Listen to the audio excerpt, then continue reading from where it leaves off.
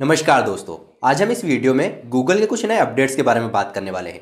अगर आप लोग गूगल ड्राइव, गूगल फ़ोटोज़ या फिर जीमेल आईडी, साथ ही अगर आप लोग गूगल का यूज़ अपने डेटाज को स्टोर करने के लिए करते हो तो ये वीडियो आप लोगों के लिए काफ़ी यूज़फुल रहेगा। तो इस वीडियो को आप लोग एंड तक ज़रूर देखिएगा इस मैं हूँ प्रदीप प्रजापत, चलिए शुरू करते हैं।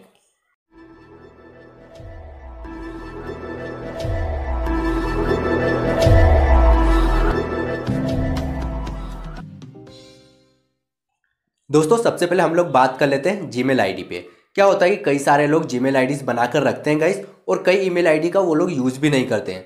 तो क्या होता है कि उनकी जो जीमेल आईडी उन्होंने बनाई हुई है, वो सारी की सारी वैसे ही गूगल पर स्टोर रहती है। लेकिन फ़र्स्ट जून 2021 से गाइस जब से गूगल नया अपडेट कर रहा है, तब से जितनी भी जीमेल आईडी आप लोग बनाकर रखोगे, और अगर उनका दो साल के अंदर आप लोगों ने यूज़ नहीं किया तो उस जीमेल आईडी पर जितना भी डेटा है, वो सारा डिलीट हो जाएगा। और वैसे ये सही भी है गाइस कि आप लोगों की जीमेल आईडी है और आप लोग खुद ही नहीं यूज़ कर रहे हो तो गूगल के लिए कहाँ से इंपॉर्टेंट रहेगा? जब आपके लिए वो चीज़ इंपॉर्टेंट नहीं है तो गूगल के लिए तो हो ही नहीं सकती है। देन आप लोग गूगल फ़ोटोज़ पर गाइज़ अनलिमिटेड फ़ोटोज़ स्टोर कर पाते थे। लेकिन, अब आप लोग गूगल फ़ोटोज़ एप्लीकेशन पर अपने अनलिमिटेड फ़ोटोज़ स्टोर नहीं कर पाओगे गाइज़ अब आप लोगों के पास जो फिफ्टीन जी डेटा रहता है, जैसे कि आप लोगों को पता ही होगा कि हर ईमेल आईडी पर गूगल आप लोगों को पंद्रह जी का डेटा स्टोर करने की परमिशन देता है। लेकिन अब आप लोग जो गूगल फ़ोटोज़ पर फ़ोटोज़ या फिर वीडियोस जो भी आप लोग रखते हो, वो भी आप लोगों का उसी फिफ्टीन जी डेटा में काउंट होगा।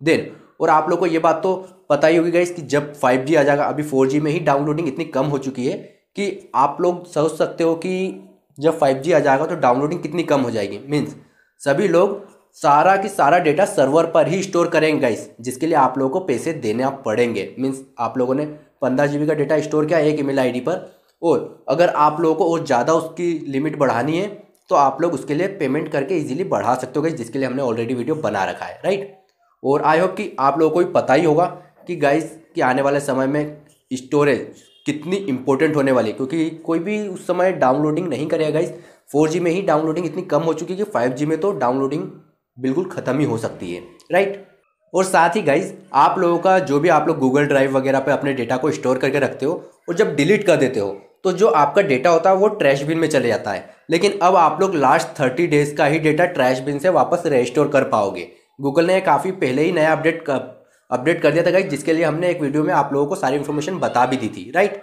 आई होप कि आप लोगों को ये वीडियो काफ़ी पसंद आया होगा इस और जो भी डाउट हो, आप लोग हमसे कमेंट करके ज़रूर बता दीजिएगा।